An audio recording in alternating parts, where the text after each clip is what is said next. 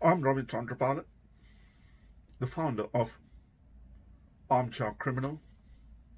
This is part two of considering section 114 and 15 of Criminal Justice Act 2003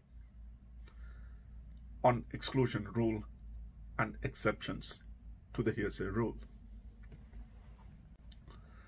We have looked at some of the provisions, how they were applied, and here we will continue with the same program. The first question that I will pose, the question is, what are the circumstances in which one can refresh the memory from a hearsay statement? If the maker of the statement were to dictate and somebody else, somebody else writes it down, if that person who dictated the document were to adopt it, then that person is entitled to refresh his or her memory from that document. In other words, that person has adopted that document as his or her statement. The reason for that is this. If the person were not to adapt it, who knows? The person who wrote it down may have not recorded properly. So it is important for the person to consider it and adapt it. As simple as that. This is why I have always advocated those who attend police stations to represent clients, they should take a proof, get the client to read it, sign it, if you wish, sign it as the witness, then there is a record of it. It's very, very important. People fail to take account of that. Because if the person is being challenged, either on the basis of a recent fabrication or wants to refresh their memory, then that it is available. It is important to consider the cases of McLean, 1967, Jones and Metcalfe, and Meha and DPP. Next, what we will look at is what distinguishes a hearsay statement from a statement that can be adduced without breaching the rules. What distinguishes between a hearsay rule and a statement that is not caught by the Act is the purpose. You look to the purpose. That is why I earlier mentioned to challenge an allegation of recent fabrication. You look at section 115 and that basically gives you the leeway how to adduce it. The examples of this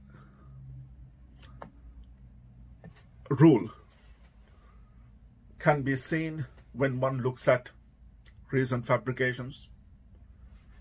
The prosecution tells, puts to the client, you recently invented this defense. No, no, no, no. I said this right at the beginning at the police station. So it rebuts the recent fabrication. The next one is when one looks at the actus reus. If you are looking at an offense of public order using abusive language or where there has been false representation to get money from a bank for a fraud case or state benefits, whatever, you need the previous statement. So that that comes out as part and parcel of the actus reus of the offense. Because the purpose there is not to prove the truth of its contents. It is to show that the statement was made. How can you prove a false representation if you cannot adduce the representation that was made? It's a nonsense. Second, next is lies and giving false accounts. If your client were to give an comment interview and he comes up with utter load of rubbish in the interview. And during the trial, the prosecution can adduce evidence to discredit him. Again, those lies, false accounts can come in. Look at the case of Majid, and that is important.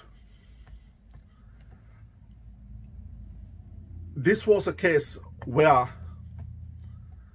the suspect gave false alibi and he was shut down during the trial. Equally, there will be cases where you will adduce the previous statement to show the state of the mind of the person who heard it. For example,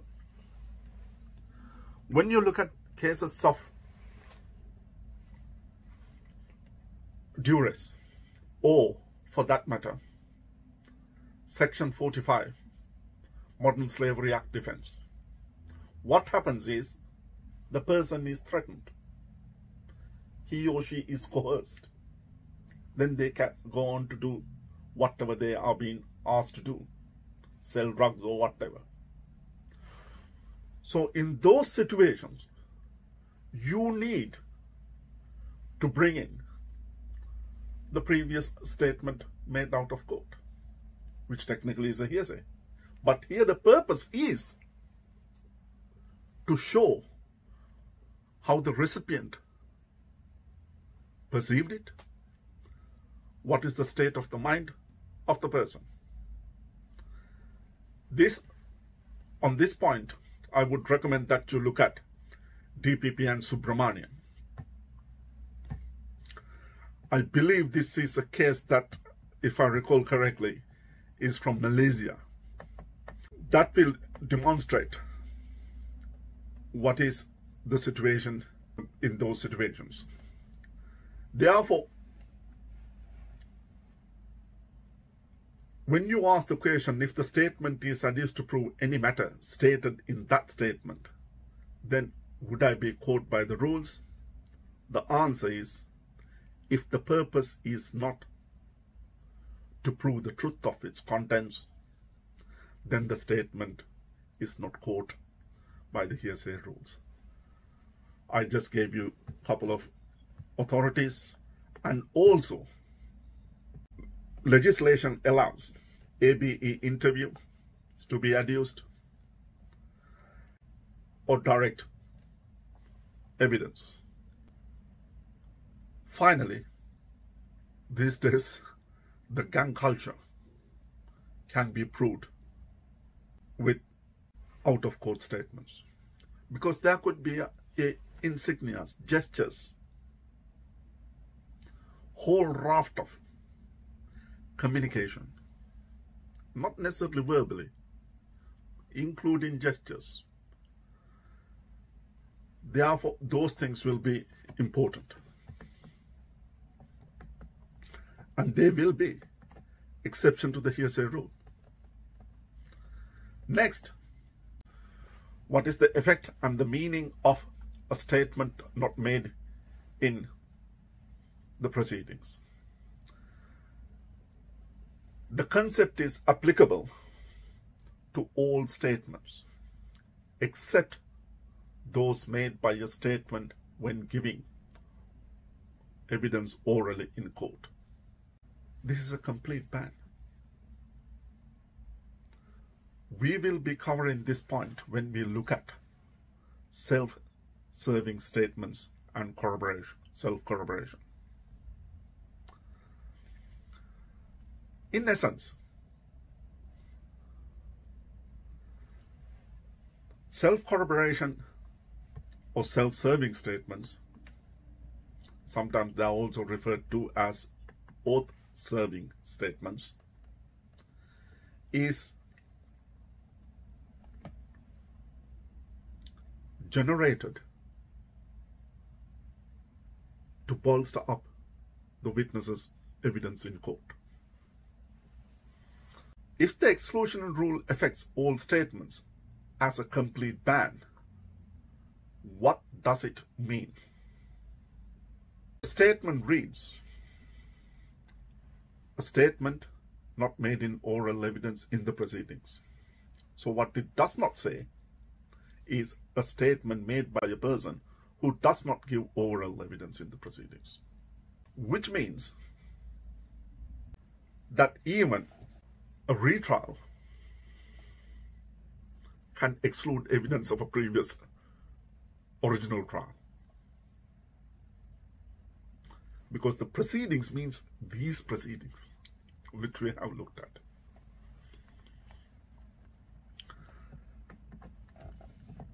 It is important to note the reason for that. You can have a retrial.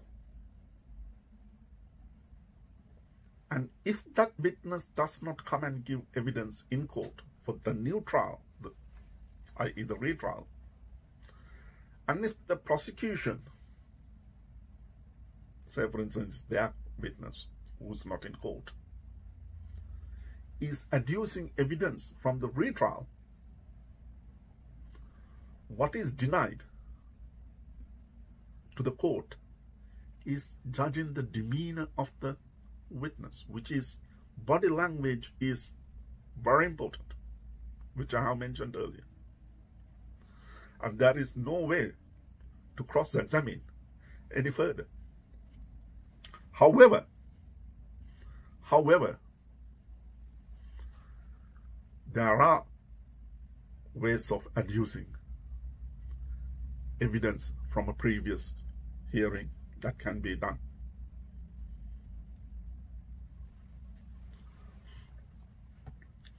That is a separate topic itself, for, but it can be done. So what is the effect of that? The effect of an exclusion rule not only affects the statement made by the person who does not come to court. But the rule against the narrative, what is also described as self-serving statements or self-corroborating or oath-serving statements. They are one and the same. However, under certain circumstances, it may be possible to adduce statements made out of court, such as for the purposes of memory refreshing. Again, I look, mentioned that about the police station. But that is not the only person, the defendant is not the only person who could refresh if they want to. But very often the police officers do, and other witnesses. Look at section 120. And uh, section 119 equally. However, inconsistent statements are not regarded within this definition because they are being adduced to literally the, the inconsistencies. That is why I said look at section 119 and 120. Now for a moment, let's stop and discuss what is self-serving or self-corroborating, oath-serving, however you want to describe a statement out of court, what it is. Very often, witnesses, what they do is before they come to court, they will discuss the case with several people. A, B, C, and D, and E, F, the list goes on. And they give their version of events. Then what they like to do is come to court and tell in their evidence, oh, I told this person, that person, this person, that person, 100 people. So therefore it must be true. No, it doesn't. Because an out of court statement of that nature is literally what it means. You are trying to corroborate yourself. You are trying to self, it's a self-serving statement. Just because a witness repeats it hundred times, it doesn't become any more truthful than not telling anyone else. If it is a lie, it will be repeated only hundred times by saying it. That is the purpose. However, if it is introduced to rebut a recent fabrication, like I said about the police station, then that's a different ballgame.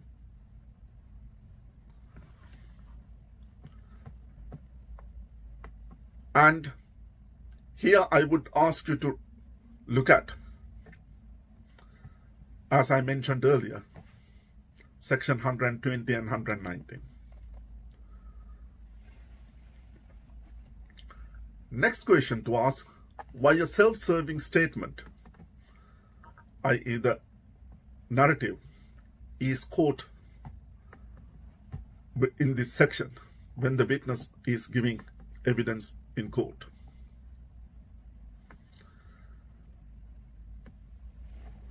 That is because section 114 says as evidence of any matter stated in it, which I just explained to you. The whole purpose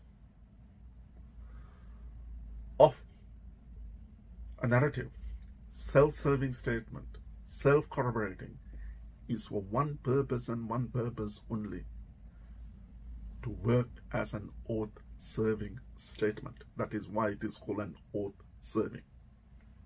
The whole purpose is repeat it elsewhere, elsewhere, come back and come to the court and say it. Oh, I said that. So it must be right. No, it doesn't. Stop the person in their tracks.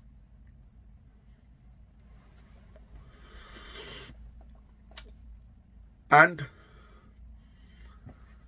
for that purpose and that purpose alone, the concept of the word purpose in the section is crucial. That is where you define what is a hearsay statement that should be disallowed. It is an out of court statement, but it should be allowed in evidence. That's the way to do it. Next, let's look at where does the word statement come in. Look at section 114. for a moment. It says, in any criminal proceedings, a statement. It can't be more clear than that. So it refers to a statement. Remember, there's a fantastic definition of a statement, which we are now going to look at when we look at the question. Is there a definition of the word statement and where is it? For that, you look at section 115. In particular, subsection 2 and 3. What is the definition of the word statement? Section 115, subsection 2. A statement is any, emphasis any. This is where I discussed gestures. Uh, it could be a nod, thumbs up, anything. Representation of any fact or opinion made by a person, which we will look at. Person is important. By whatever means and includes a representation made in sketch, photo fit, or other pictorial form. That is subsection 2. Then subsection 3. A matter stated to which this chapter applies if and only if the purpose, which we looked at very carefully on several occasions, or one of the purposes of the person making the statement appears to the court to have been A. Cause another to believe the matter or to cause another to act or a machine to operate on the basis of that matter is as stated. In other words, the court will look at what was the purpose. Was it made in order for someone to act or a machine to operate? That is important. Next, look at what are the nuts and bolts of section 114 and 115 of the Criminal Justice Act. The list can go on for quite a few parts, but in my opinion, first you look at who made it. Is it a person? It's important. Is it representation? Fact or opinion? Was it made? For what purpose? Was it to make a person believe? Or to cause another to act or for a machine to operate?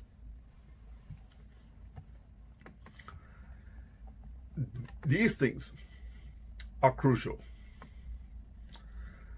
We look we discuss the issue of person. Why? That will come when you look at why it is not. Okay? It sounds, uh, uh, it is in fact that easy to put it in those terms. What is the effect of a person making a statement? The exclusion rules has no application to statements made by machines that automatically produce an observation, such as a fuel gauge, a barometer, a compass, a thermometer, ARNP, automatic registration of number plate, telephone logs. You get a telephone bill Nobody puts in the information. It automatically generates it. Then artificial intelligence. Why is there a distinction between a statement made by a person and a statement generated automatically, important, automatically by a machine. If you do watch aircraft crash investigations like I do, you will understand why. Believe you me, it is said that most aircraft crashes take place because of human error. Same thing here. There is a greater probability of remaking us an error than an automatic machine generated information. Barometer gives the reading of the weather and everything else.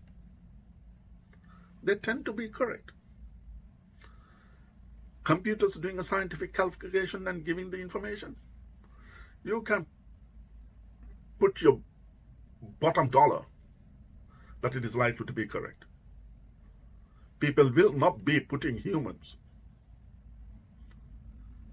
into a rocket if certain things cannot happen. You'll be surprised. As much as we are very intelligent, we make fundamental mistakes.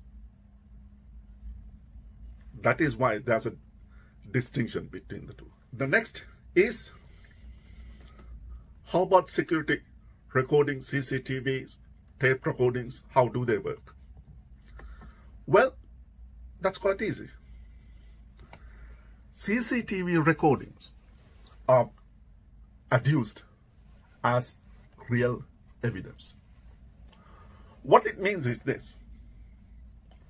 Let's take, for example, you are in your office looking at your security camera screen. You see what's happening outside of your office. As if you are there and you can see it at a later time. So it is as good as you being there. That is why it is regarded as real evidence.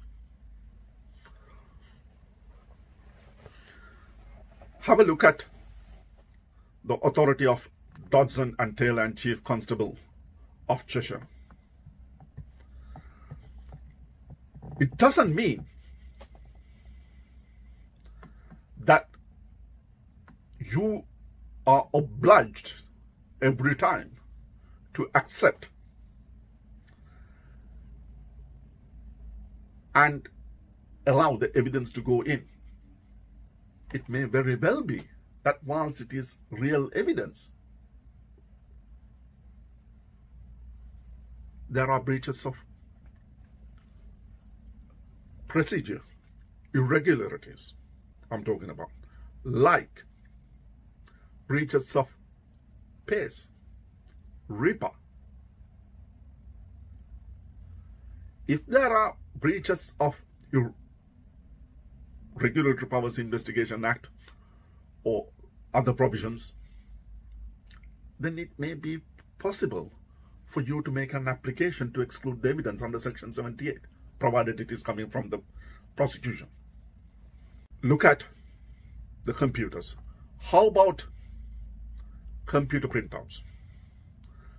The printouts from computers that are used for storage of information or where the computer generates a calculation based on the information provided by a human.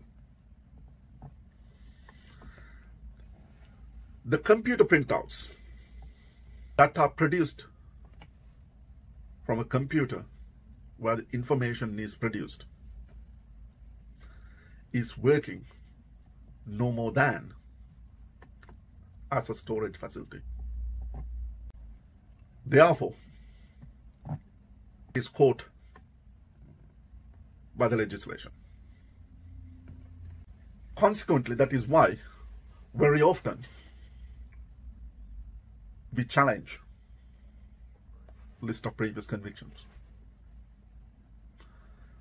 produced from the PNC, that is Police National Computer. The logic behind this is quite simple. The prosecution is adducing a list of previous convictions. Why are they producing it? The purpose is to show the person has these convictions recorded against him. So the purpose is clear to prove that person got convictions. The problem is the list of convictions recorded in the computer was not done by the officer in this case. It would have been done by someone else. Therefore, there is room for error.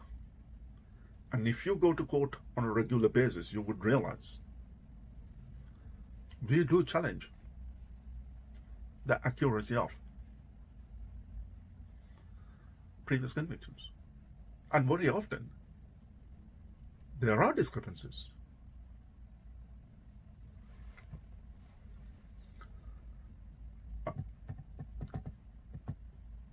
However,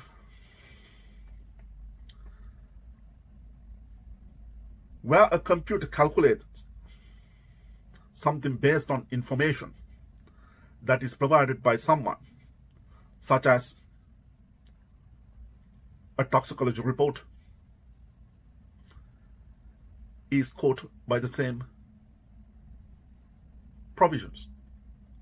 See the case of Wood. That is because the report is based on the information which was put into the machine. Just like with the PNC. That is why I highlighted those two. So look at the authorities of Court Justices ex parte Bullard and Crown and Wood. Next, let's look at what is the reason for the decision in Court Justices ex parte Bullard and Wood. In fact, I just covered it. Uh, this is because of human intervention. Look at section 129, Criminal Justice Act 2003, which says where a representation of any fact is made otherwise than by a person, but depends on the accuracy on information supplied directly or indirectly by a person. The representation is not admissible in criminal proceedings as evidence of the fact unless it is proved that the information was correct. There you are. Subsection 1 does not affect the operation of the presumption that a mechanical device has been properly set or calibrated. We looked at the issue of toxicology report. That all depends on what the information is put there and what you get. Okay? Compare that with a drink drive case. Yes, one can challenge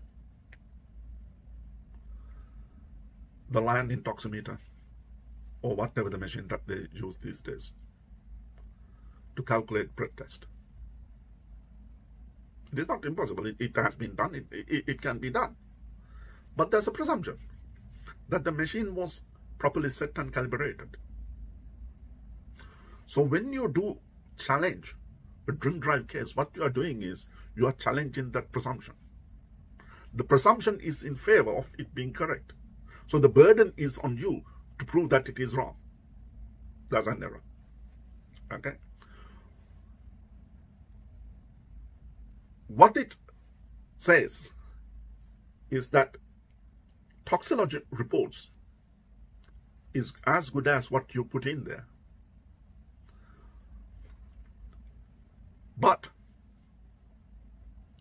the, the accuracy, because it says in subsection B, depends on it for accuracy on information supplied by a person. Representation is not admissible in criminal proceedings as evidence of fact unless it is proved that the information was correct. That is where, when experts are relying on calculations to say this is the result, they have to prove what they input by way of data is correct. But otherwise, the machine is deemed to be correct. Let's see if we can now reconcile. How can we reconcile the two dictums in Wood and the ex parte Ballard? As I have been going on for a little while now, it is the scientific information. If there is human intervention, then it is caught within the hearsay rules. The courts regard that computer used to calculate scientific information fed into the computer has to be correct. That's they, they have to prove that it is correct. The rest, as far as the machine is concerned, there's a presumption that it is working properly.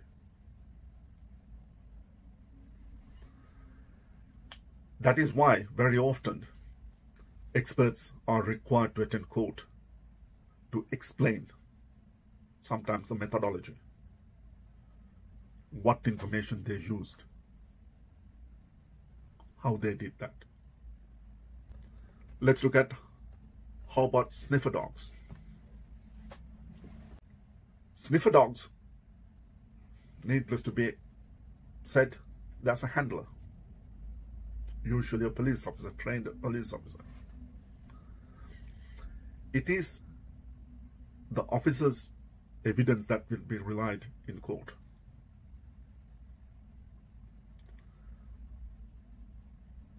But that officer is basing the statement based on the information that he understood from the sniffer dog.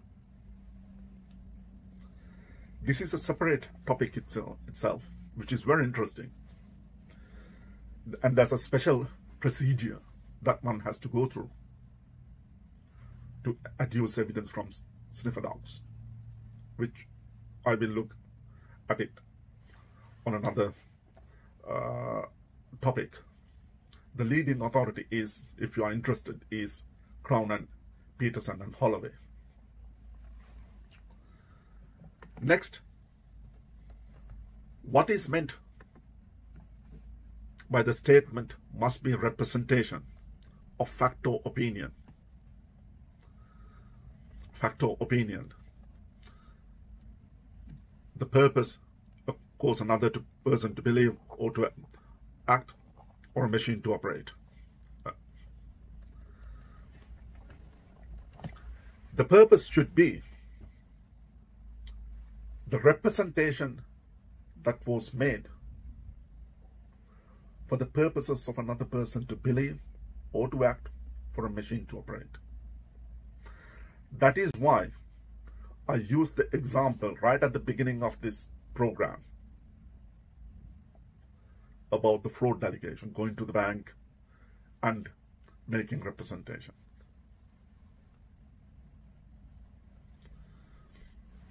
Next,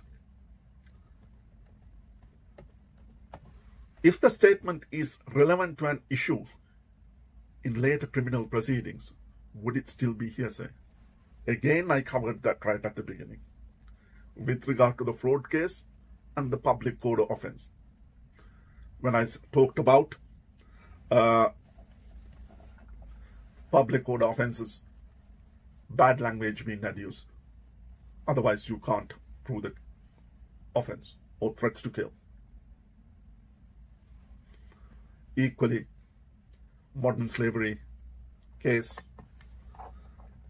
and defense of duress.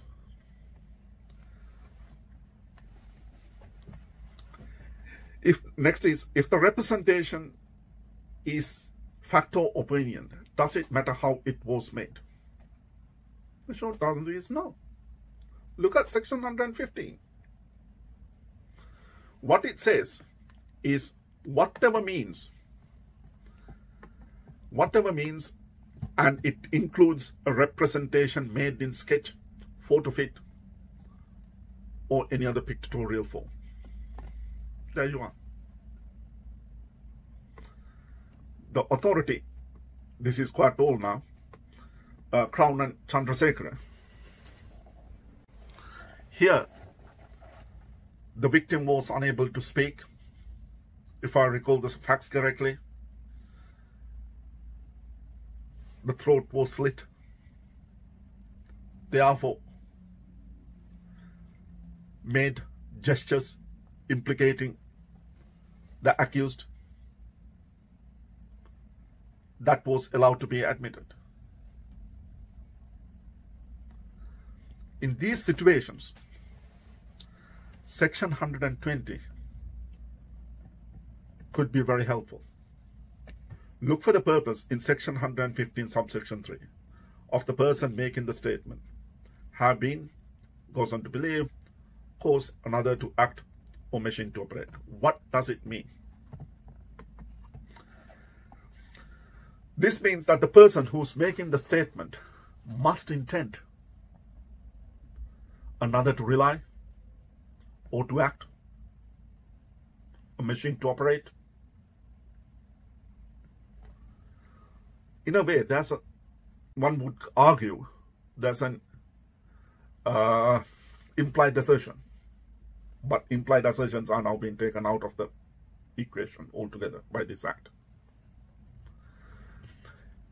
If the statement was not made in that manner, then the restrictions do not apply.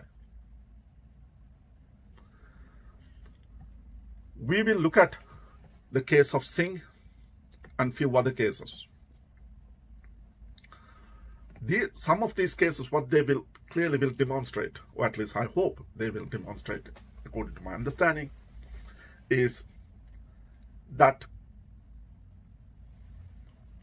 you look to the purpose And with that, it should come clear if the statement is adduced to show the truth of its contents, then that statement is caught by the exclusion rule. But if it is adduced for a different purpose, in other words, some other purpose, then the hearsay rules do not apply. We have a list of cases Singh, Leonard. It is clear is bulk of these cases come from drug offences. Here the defendant was charged and convicted of conspiracy and it was an allegation of kidnap. The conviction took place based on the text messages from the memory of the phone and other people. The Crown was able to show a large amount of text and he was convicted, he appealed, and it was argued that that should not have been the case because there's an implied assertion that he was part of a gang. The Court of Appeal rejected that. The Court of Appeal rejected that argument and the Court of Appeal said, in effect, section 118, not merely, not merely abolished the common law exception to the hearsay rule, but common law exclusion rules themselves. The Court of Appeal went on to say what was said by the caller in Kearley would now be admissible as direct evidence of the fact that there was a ready market for the supply of drugs from the premises, from which could be inferred an intention by the occupier to supply drugs. The view of the majority of the Kearley in relation to hearsay has now been uh, got rid of. Now, that is why I mentioned it earlier.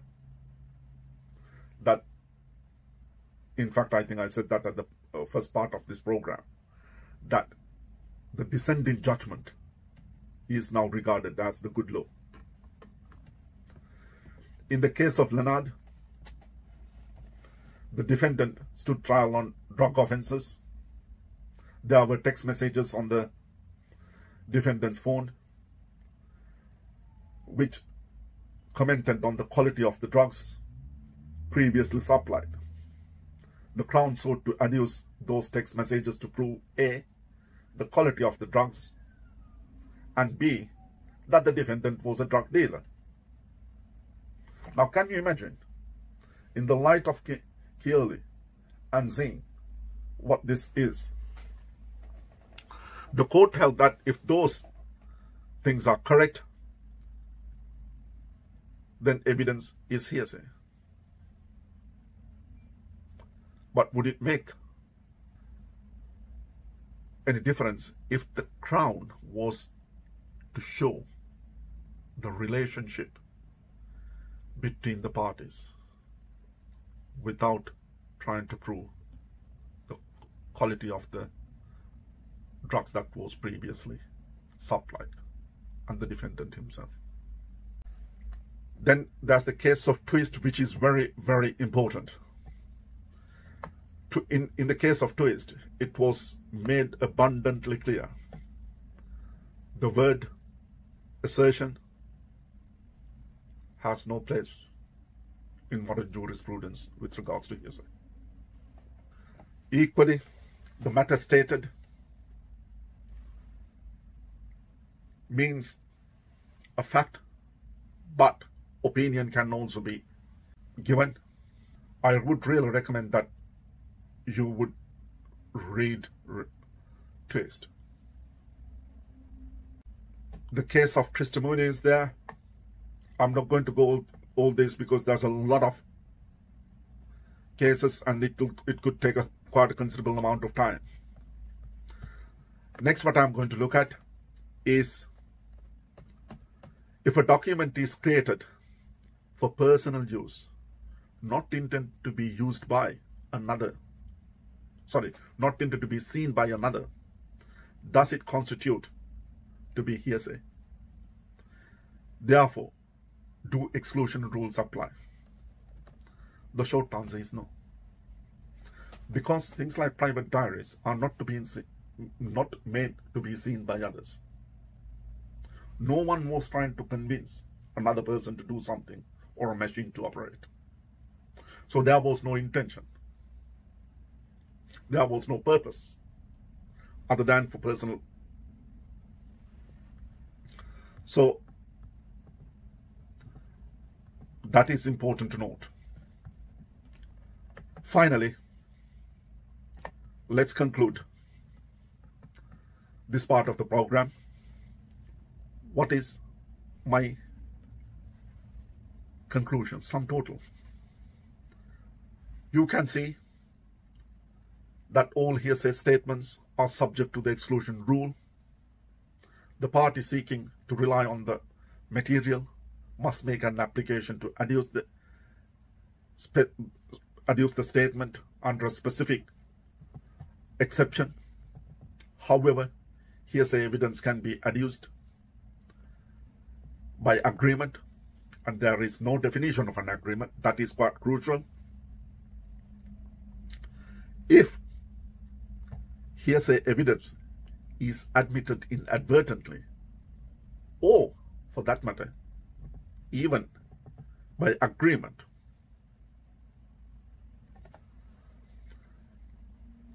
There is no provision to reel back anything that goes in. Once the hearsay evidence goes in, it's there. The Criminal Justice Act does not give room for it to be reeled back. So you got to be careful right at the outset. Do I want this in or not?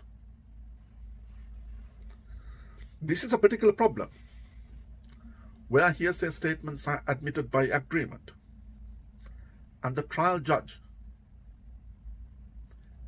may very well be unaware why it is going in because the trial judge may not be told.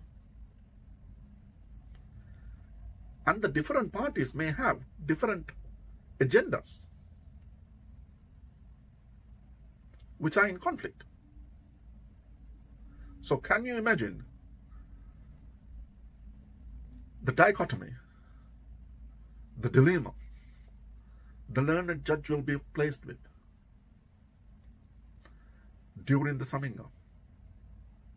There could be two different reasons which do not sit comfortably with one another. And it may very well be the learned judge has no option but to discharge the entire jury as a result of the parties not communicating with each other in sincerity. What I would suggest, if you're going to adduce hearsay evidence by agreement, speak to your opponent. Understand each other as to why you want these things. Otherwise, it could be a bigger mess than anything else. That is the end of this part of the program with regard to uh, considering section 114 and 15 of the Criminal Justice Act 2003. Now we are going to move on to looking at specific provisions where you can adduce hearsay evidence, like by agreement, unavailable witnesses, documentary evidence, common law exceptions, including res gestae, confessions, and the like. They are yet to come. I hope this has been useful and that you have enjoyed. Thank you for your valuable time. Look forward to seeing you again. Take care and God bless.